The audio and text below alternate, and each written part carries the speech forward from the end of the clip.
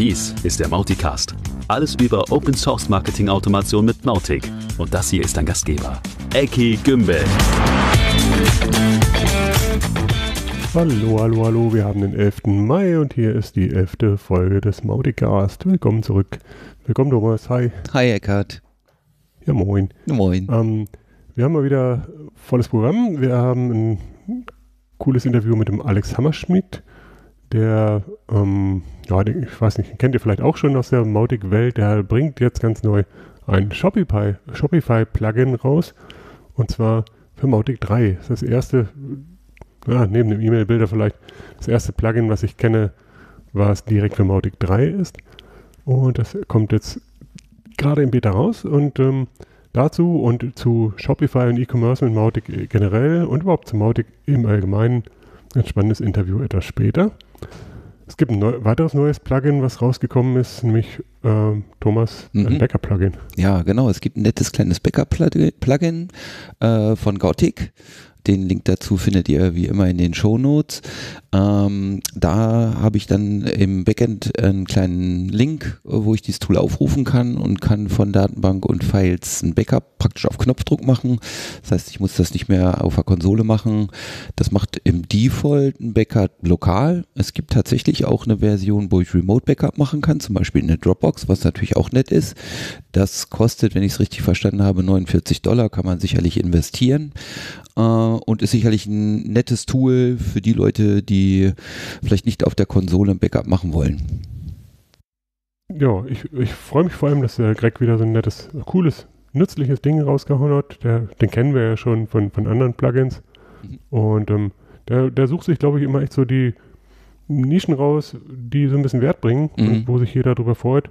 Das Modell mit, mit Free und, und Premium ist natürlich auch ganz cool hier. Mhm. Und ehrlich gesagt, ich kenne mich ja selber. Es gibt schon Situationen, wo man echt zu faul ist, mal eben noch ein aktuelles Backup zu machen. Wir haben in der Regel immer ein, ein tägliches Backup. Aber wenn ich jetzt mal eben was probieren will und auf Nummer sicher gehen will, müsste ich natürlich nur mal reingehen in die Konsole Mhm. und umständlich ein manuelles Backup anschubsen. Und das mal eben machen zu können, ist schon nice. Ich freue mich. ja, auf jeden Fall eine nette Sache.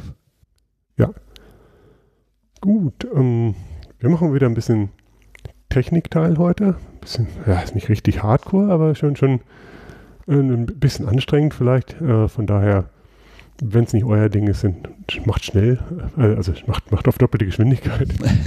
ähm, es geht um das Thema E-Mails und das ist ja tatsächlich eins, was in den Forums und sonst so immer mal wieder gefragt wird in den verschiedensten Facetten. Und deswegen würde ich gerne die wichtigsten davon einmal ganz kurz beleuchten. E-Mail vom Prinzip her ist ja klar, versende ich in Mautic einmal transaktional, also sowas wie bitte bestätige deine E-Mail-Adresse oder halt auch in, zu, zum echten E-Mail-Marketing, sowas wie hier ist dein Gutscheincode. Ähm, Soweit, so gut. Und damit das gut funktioniert, braucht es aber einiges. Und als erstes braucht man brauchst du überhaupt mal erstmal eine Absenderadresse. Und das ist die erste große Entscheidung, die man treffen muss, mit welcher Absenderadresse und konkret mit welcher Domain versende ich den überhaupt. Mhm. Eine Denkrichtung, ich nehme die Domain meiner Firma. Andere Denkrichtung, ich nehme eine andere, typischerweise eine Subdomain meiner Hauptdomain. Mhm. Also entweder ich schicke von at äh, oder ich schicke von ecki at m.xyz.de. Irgendeine ganz fremde Domain würde ich typischerweise nicht nehmen, das führt nur zur Verwirrung. Und das hat Implikationen. Zum einen für den Versand, zum anderen auch für den Empfang. Und man muss halt im Einzelfall abwägen, ist es einfach möglich, äh, über das normale Hauptsystem zu ver versenden? Ähm, oder kann ich im Namen, möchte ich im Namen des Hauptsystems versenden? Oder ähm, geht das beides nicht und ich versende mit einer ganz anderen Domain über ein anderes System oder mit einer anderen Domain über das Hauptsystem? Geht alles. Und äh, für den, den ich jetzt verloren habe, noch zusätzlich einen drauf. Die Frage ist ja auch, wie versende ich eigentlich? Nämlich versende ich direkt aus dem Mautic. Also Mautic, PHP-Code, geht los ins Internet, sucht den Empfänger und schickt das dahin. Mhm. Oder versende ich über einen E-Mail-Dienst, also über Mailjet oder Amazon SAS oder was auch immer. Beziehungsweise vielleicht sogar über mein normales Hauptsystem. Also das kann Gmail sein, das kann aber auch mein äh, selbst gehostetes, was auch immer sein. Ich kann also in Mautic auswählen zwischen per PHP versenden aus einer Liste an vordefinierten E-Mail-Services äh, versenden oder halt ein, ein selbstdefiniertes E-Mail-System nehmen. Es gibt noch einen weiteren Weg, der heißt äh, Sendmail Delivery. Das bedeutet, Mautic gibt es an den lokalen Server und lässt denen dann die Arbeit machen, in der Hoffnung, dass der vernünftig konfiguriert ist. Es kann also durchaus Fälle geben, wo das auch genau der richtige Weg ist. Ähm, ja, wenn man also diese Entscheidung hat, welche Domain habe ich, dann muss ich tatsächlich schauen, welcher ist der beste Versender. Da gibt es andere Kriterien neben Kosten. Also Kosten kann natürlich auch bei, bei großen Stückzahlen ein Kriterium sein, aber sowas wie, wer hat die beste Erfolgsrate bei der Auslieferung, hm, nicht so einfach rauszufinden, aber ähm, es gibt natürlich immer mal wieder Vergleichstests. Ähm, ist er in Europa, äh, was natürlich zu DSGVO-Zeiten DSGVO-Zeiten, mhm. ähm, habe ich das richtig gesagt, ähm, immer ein Kriterium ist. Und ähm, lässt er sich gut integrieren. Was kann er sonst so? Vor allem hat er auch Inboxes. Mhm. Es gibt noch ein weiteres Ding. Ich würde immer einen nehmen, der mir erlaubt, eine dedizierte IP zu nehmen. Nicht, dass irgendein anderer Versender über die gleiche IP läuft, die irgendwo in Spamlisten landet und ich deswegen auf einmal Probleme kriege. Ja. Also dedizierte IP ist wichtig. Und dann kann der, kann der Service auch Inboxes.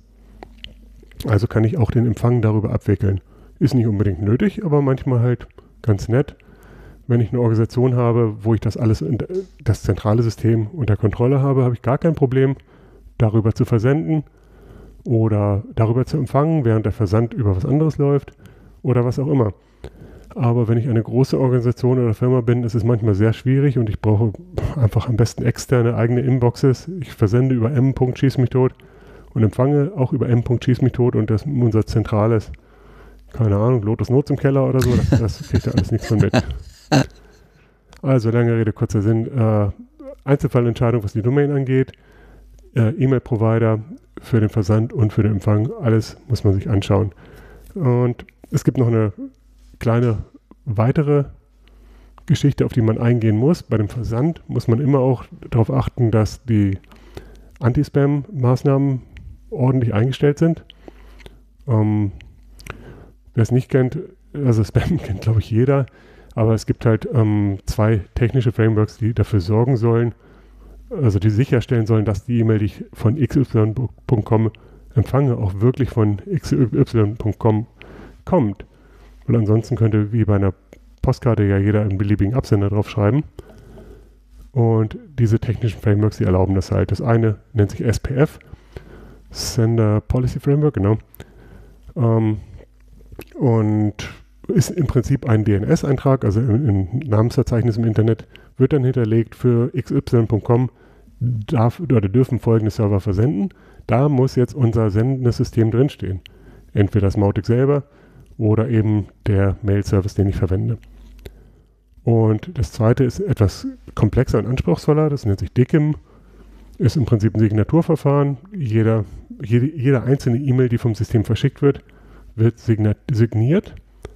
Und ähm, im Internet kann jeder diese Signatur überprüfen, indem es einen sogenannten öffentlichen Schlüssel aus dem Verzeichnis sich runterlädt und damit verifizieren kann, ah, ja, diese E-Mail ist tatsächlich verschickt vom Besitzer des privaten Schlüssels. Mhm. Wie auch immer das genau funktioniert. Aber der Punkt ist, wenn ihr das machen wollt, dann fällt schon mal das Thema Versand über Mautic raus, weil Mautic kümmert sich nicht um sowas, sondern dann könnt ihr nur sagen, ich nehme einen E-Mail-Versender, einen Service, wo ich dann über eine GUI das einstellen kann. Oder ihr nehmt äh, Sendmail Delivery, also ihr versendet über das lokale System und hinterlegt dort die DKIM-Signatur. Mhm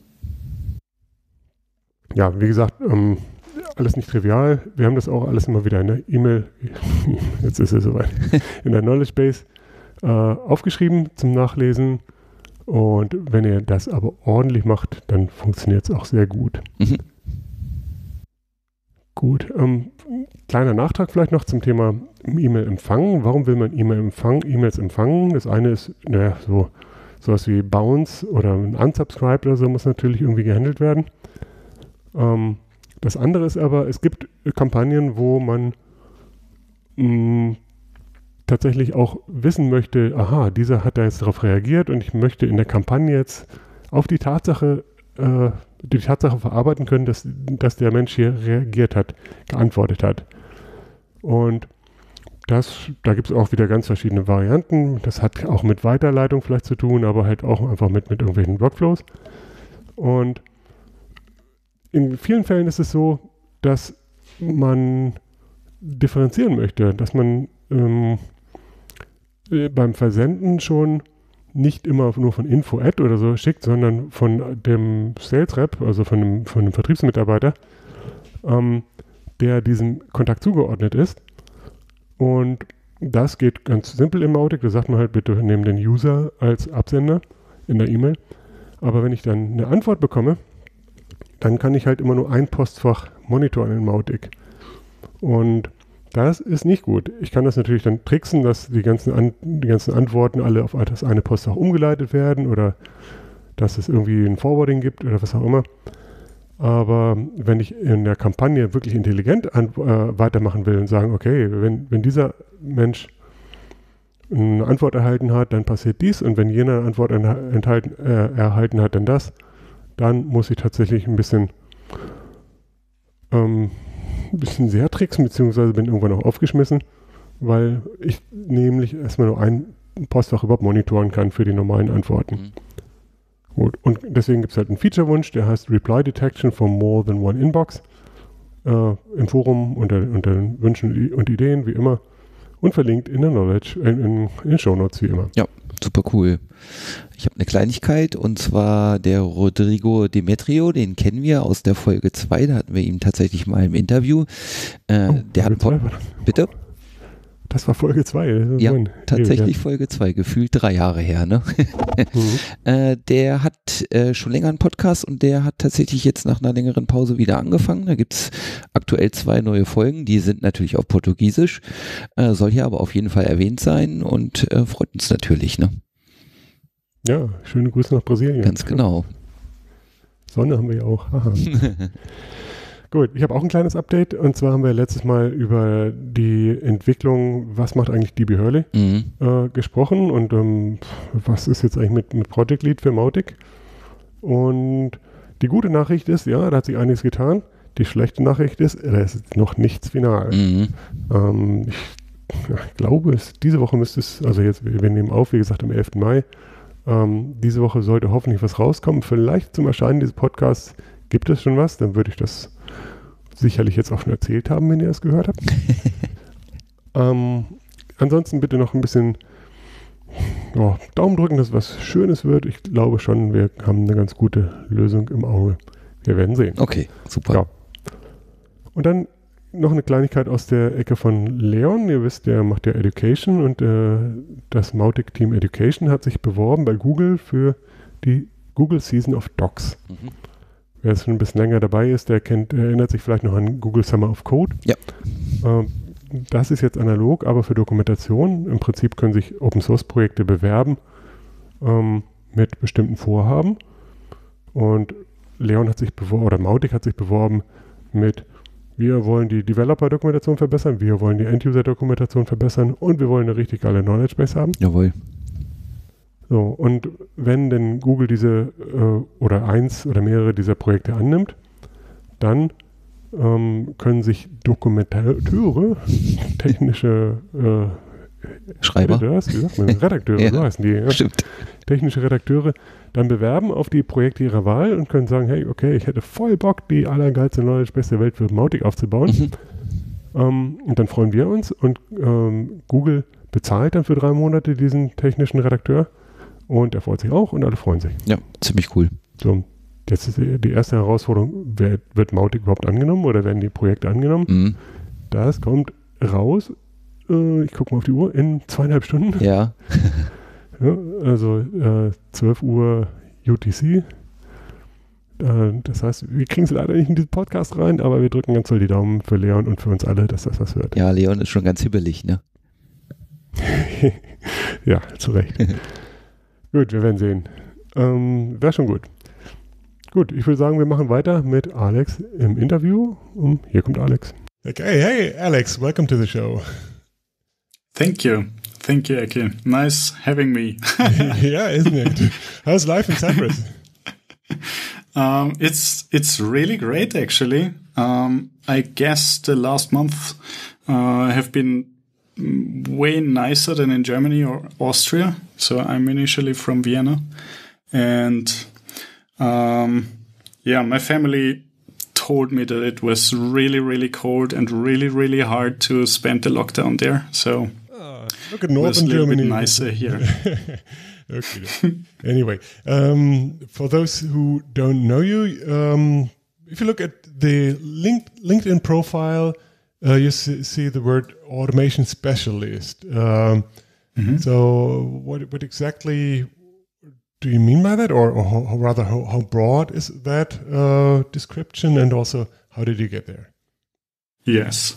Um, yeah, first of all, um, I studied architecture and I worked as an architect um, more than, so all in all, like 10 years. And um, so I come from an plan from a planning background, and in architecture you try to um, take a top-down view on your projects. So it's not like most businesses are mm, running like work in progress and they get bigger and bigger and bigger and do um, patchwork actually um, as soon as they need stuff. And we are helping um, these companies which are big enough to get in trouble because of the patchwork. so Some call it we try to Some call it agile. Yes. and yeah, we try to um, uh, create top down plans for existing companies who um, are doing most of their work manually instead of automated. And that's the reason automation specialist. And um, yeah, that's I switched from architecture a few years ago um, when I had a burnout, and my wife had a burnout as well, and she was an architect as well. So we said, okay, let's stop this life and change it. And then we changed um, to write code for 3D drawing applications. And um, suddenly we decided, no, let's do something totally different. And then we went into um, creating online courses with our knowledge of doing 3D models and stuff. And then we started exploring how to market our courses. So that's the, the that was the trigger to get into um, web design and website creation and uh, online marketing, basically.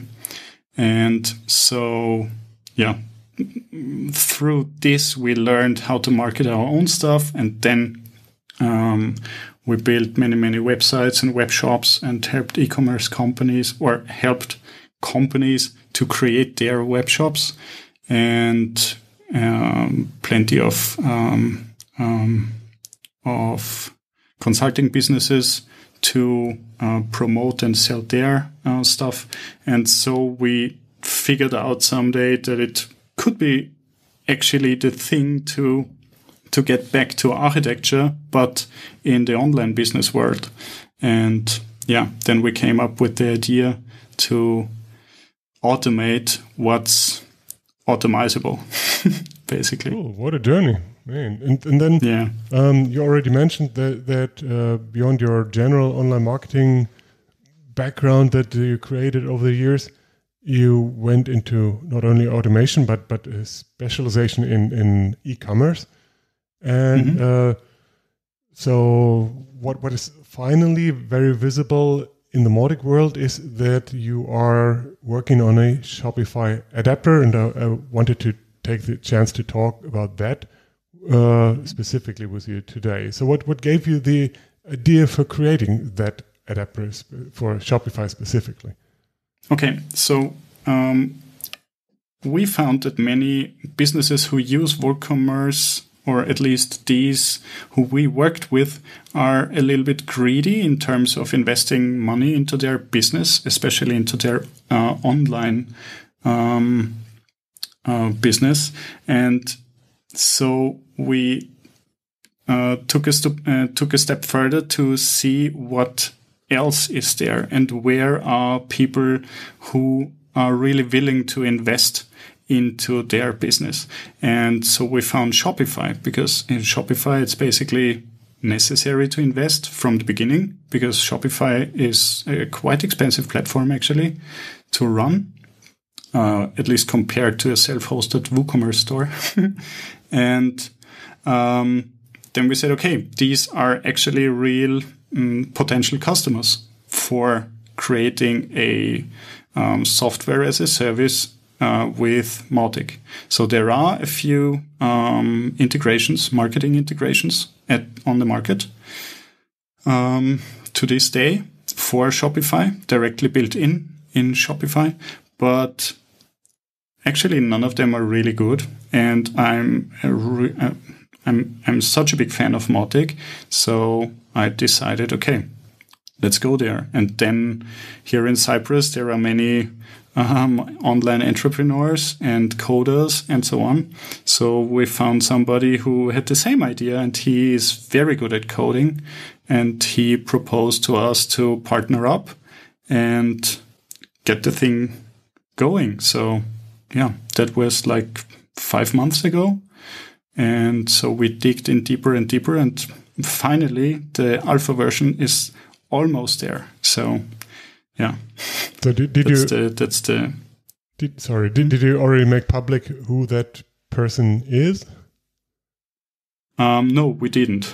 Okay, fair enough. Not yet. Okay, good. Not yet. Yeah. Yeah. yeah, So it's still he. He was asking us for um, um, for donating the brand. So we we have this brand Hartmut.io and uh, he asked us, he liked the idea and he liked the, the logo and everything. So he asked us to, to take it with, to, to, to create this product within this brand. So that's what we, what we did. And we are doing the marketing part and he's doing the developing part and side by side with our own in-house uh, developers. So yeah, Cool. Nice, mo- nice That's model. the- yeah. And then uh, that's the thing at the moment. tell us a little bit what Yeah. will that integration look like? What features do you already have, etc. And Mm-hmm. on the other hand, what do I have to do on either end to get the thing going? So how how does how does the integration work? Do you need plugins or or Yes. Um, it's um, it's fully integrated in Shopify, so it's going to be within the Shopify marketplace. So it's not at the moment because yeah, at the moment it's not um, a plugin which you can um, which you can purchase and install on your running Mautic system at the moment because it's we were mm, looking for a possible um, for a, for a valuable product. And at our research we came up with that that it's that it's better to create a fully integrated plug um, integrate um, not integration a fully integrated um, service within your um, Shopify store or directly linked to your Shopify store because Shopify users are non-techs usually. And um, it's more likely that people are willing to pay us or this service if they don't have to uh, mess around with any line of code or like any kind of logging in somewhere else and integrating like funnels and emails and stuff. So we decided to build an app. So basically, we built an app which is running on our server, and this app does does the whole working. so it does basically the synchronization between the Shopify store and the uh, Mautic instances. So as soon as you decide inside your Shopify, you can you have the marketplace in Shopify, and there you can um, um, purchase, or there you will be uh, able to purchase the the integration, and then you launch your plan, and you get a button directly in your store where you can log in into your Mautic. And you don't have any login credentials. It all comes from the shop directly.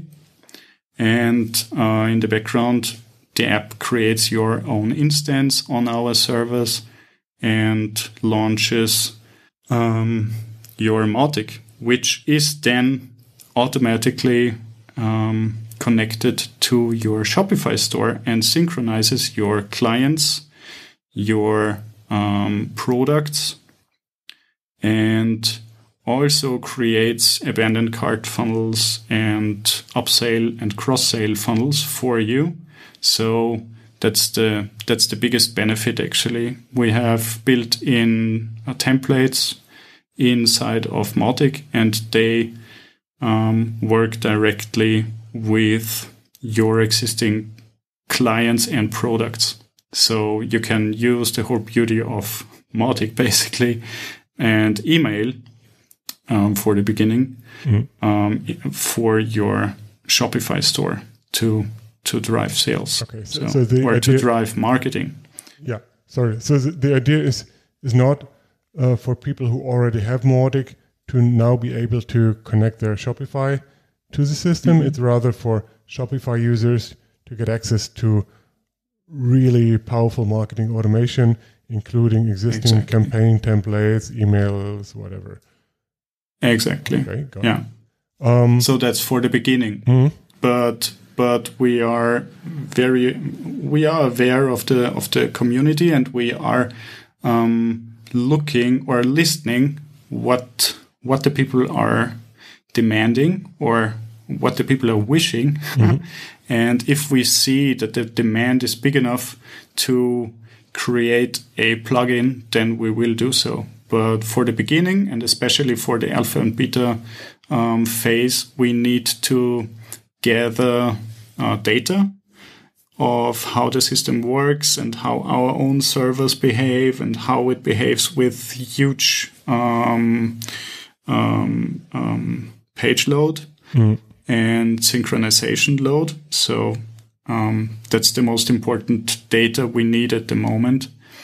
Yeah, and that's and and therefore it's better to integrate directly with existing multi, uh, with existing Shopify stores, uh, which are running uh, already, and also the beta is going to be open for um, only for people who are running functioning um, business making Shopify stores. So it doesn't make sense for us to um, give out the beta because the beta is going to be for free for a few months. Mm. And um, it doesn't really make sense to give it out to a newbie who yeah has like 10 clients and doesn't bring in some data. Sure. So the, the beta would be uh, free access to your hosted service. Would you consider it a SaaS service, mm-hmm. software as a service? Yes, totally. Yes, it's a SaaS. Yeah. Yes. Did you ever consider uh, cooperating with other Mautic SaaS providers, like like retailers? Uh, yeah, not yet, because we are basically a, or we became a retailer over the last year. Mm. um, like we we actually never planned this, but um, we have a marketing automation agency and we work with so many clients, and for all of them we are setting up Mautic, and then we decided someday instead of setting it up on their servers and having to mess around with different setups and different um, uh, like different um, um, processors and so on and so forth we just decided to create our own our own software as a service again and so we are hosting for them as well mm. yeah okay i'm curious to see how that goes um, so you already mentioned you are somewhere close to the beta. What you or I not mentioned before is that you are building this on top of Mautic 3, right? Mm-hmm. Uh, yes. Yeah, that's that's really cool. So it's one of the really first um, integrations or, or plugins directly for Mautic 3 and one of the benefits of Mautic 3 to to the world as, I mean, as soon as people can can get the plugin. Hopefully. Yeah. Um, but but Everybody's waiting for it. yeah, I guess. yeah, but but it makes a lot of sense to to go this way. Uh, that's cool. How did the development process go? If you can can speak to it, maybe maybe you're not the person to ask, but but um, was there any like obstacles in terms of uh, API limitations or, or Yes. roughness of Mautic three or, or whatever? Yes. Um, so the, the biggest obstacles were not on the Mautic side, actually, um, or are not on the Mautic side, actually. The biggest obstacles are basically API calls. Mhm. So that's the that was the most confusing thing at the at the beginning. So um, so yeah, we have a very small team, so I know a little bit of the of the developing process and what's going on there. And um, the beginning was like we you are very limited doing API calls on the Shopify side, and uh, very limited means like only 200 calls per second, and that can be extremely limiting in um, in bigger stores. So it it it totally it it doesn't make any problems as as long as you have like 100 products or something. But if you have thousands of products and if you have thousands of clients who are shopping every day in your store, and uh, then you need a lot of API calls. And uh, the biggest obstacle was to combine um, a, uh, data and fetch it within one API call. Yeah, that was the that was actually the biggest obstacle. Um, and and the second the second um, biggest obstacle was to um, keep track of what you already fetched and where you start fetching again on the next call. Okay, but that's So- really in, inside of, of the application logic itself. That's uh, has nothing Yes. with the Mautic or, or Shopify on No. the end. Okay. Exactly, exactly. But that's that's the thing what our app Mm. has to do Mhm. because otherwise the app just shuts down all the time. So in the beginning, it was just you start you start um, a new store or you you create your new connection and your new instance, and like two minutes later it was shut down. so Cool. just because the just because the the calls are the the server runs runs crazy. Yeah. So Yeah, I guess you guys had had some fun there. Um, you already Yes. talked about um, business model for for um, paying for all the development. Um, the, the notion of the Mautic marketplace. There's been some discussion in the last couple of months of, of ways to go and options. I, I, I guess it's multiple months down the road before we can really touch things there. But but uh, do you do do you have any thoughts there? Is there any like do you need a subscription model for this, or what would if if there was a Mautic marketplace who would it make it easy for you to really uh, get money for uh, for your development? What do you have any thoughts on what, what requirements you would have or Mhm. see? hmm Um, actually, I would not reinvent the wheel. um, and uh, there is a a small website software out there which does it really smart and. And so, in my in my opinion, and that's WordPress. Yeah, yeah, yeah. We're referring to that. okay, so you like the model Yes. they go with, right? yes, um, this model is so is so um, so commonly used Mm.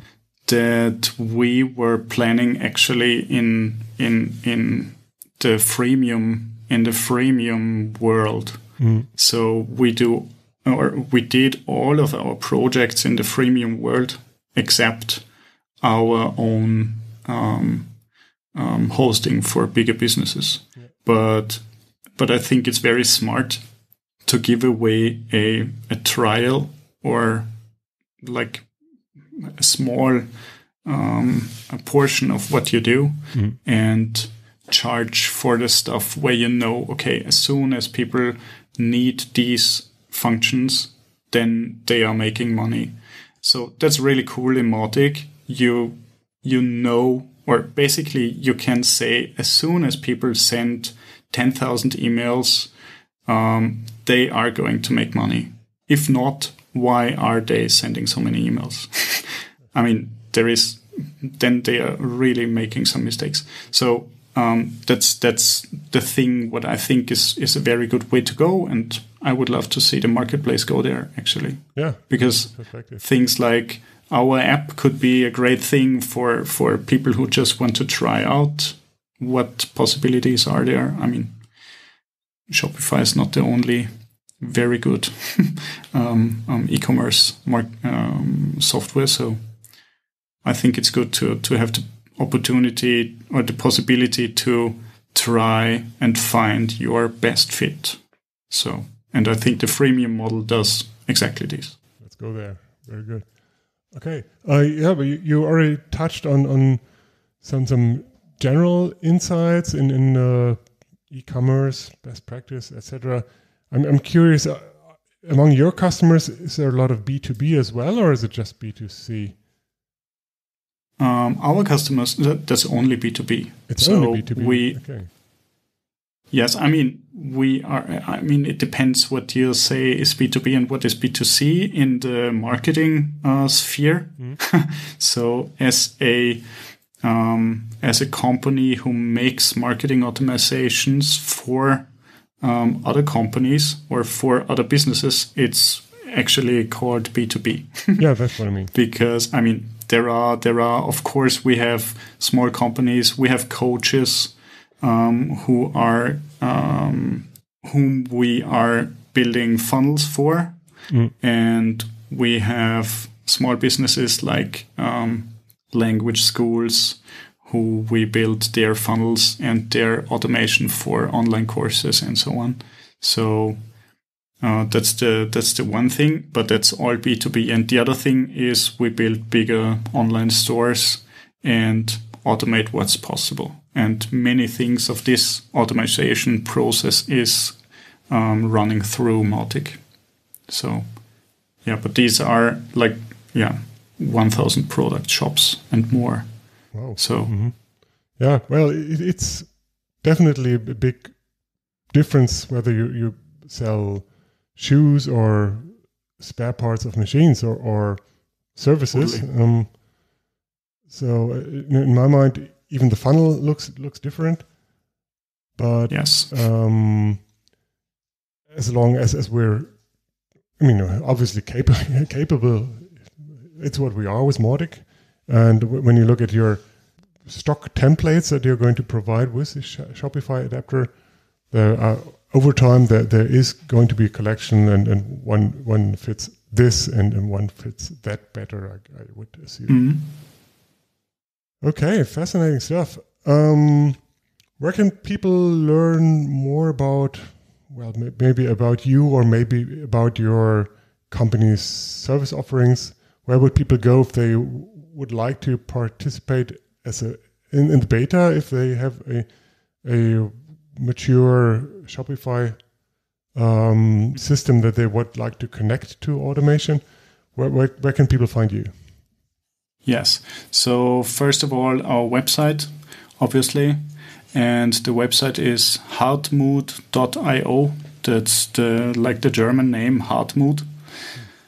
And um, I don't know, maybe show it in the show notes, or I can spell it. No, I, I put it in the show notes anyway, but I'm curious where, where that name comes from. Whenever I read it, I think hmm, there must be some funny background.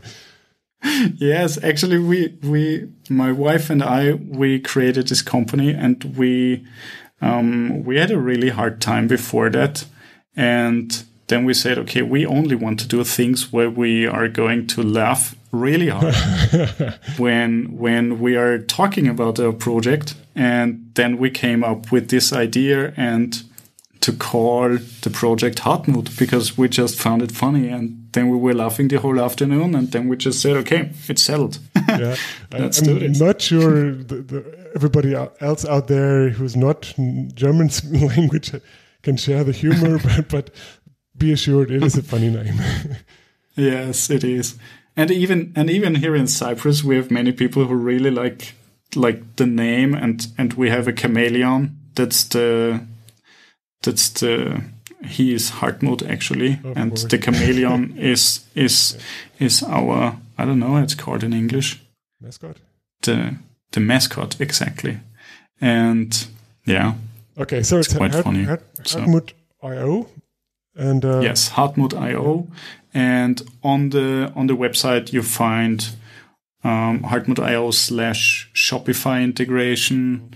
There is um, the landing page for the shopify integration where we have set up a uh, sign up list for the beta um, so for beta testing.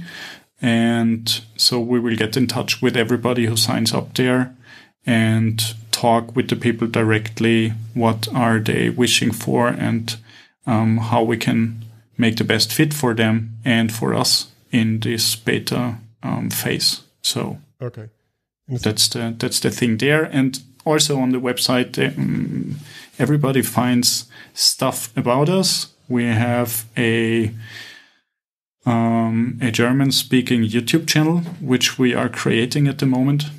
And it's also linked on the website. It's everything about Mautic. So we decided to step away from WordPress and really get all in into the Mautic sphere. So yeah. Awesome, good stuff. that's the that's the thing there. Yeah, and also we are we are um, blogging right now really hard or we try to to bring out more stuff.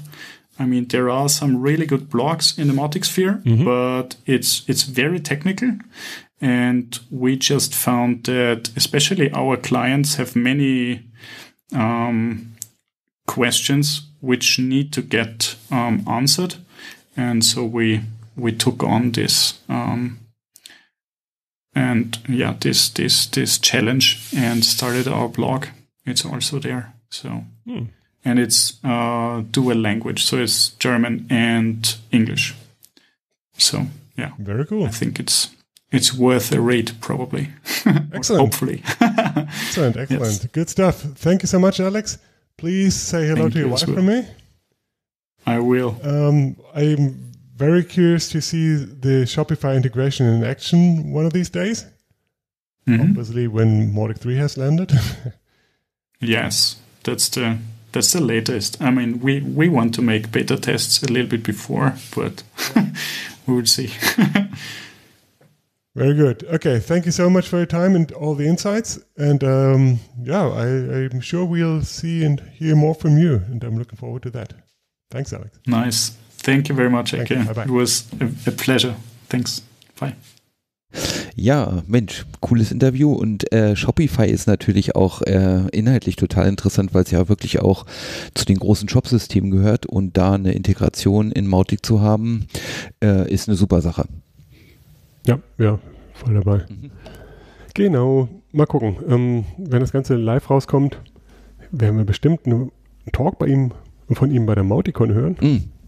Mauticon, Mauticon, die geilste Überleitung aller, Ja. aller Zeiten, oder? Wahnsinn. Denn äh, wir haben einen Termin für die Mauticon. Mhm.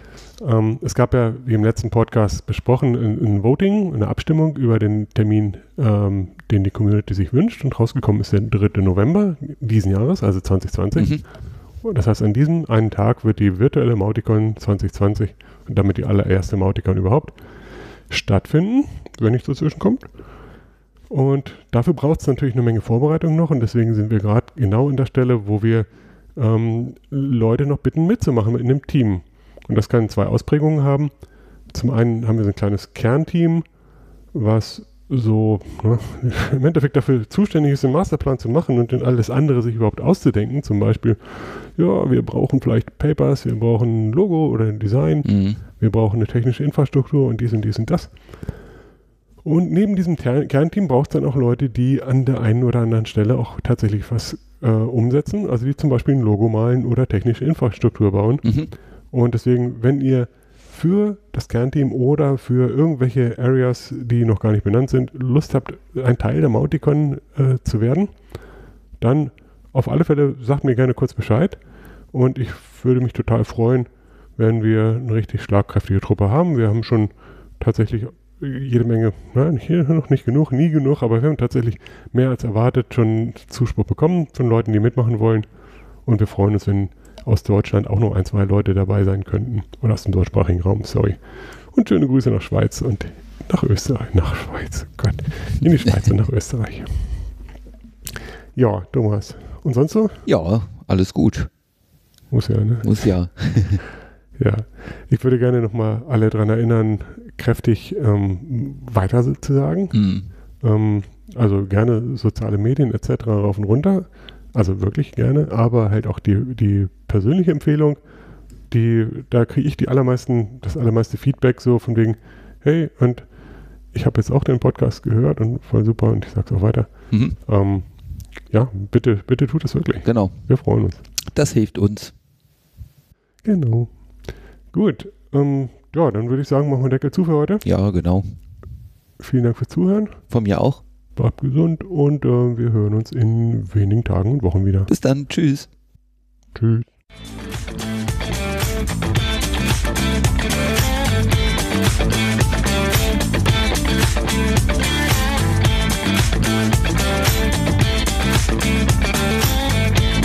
Thank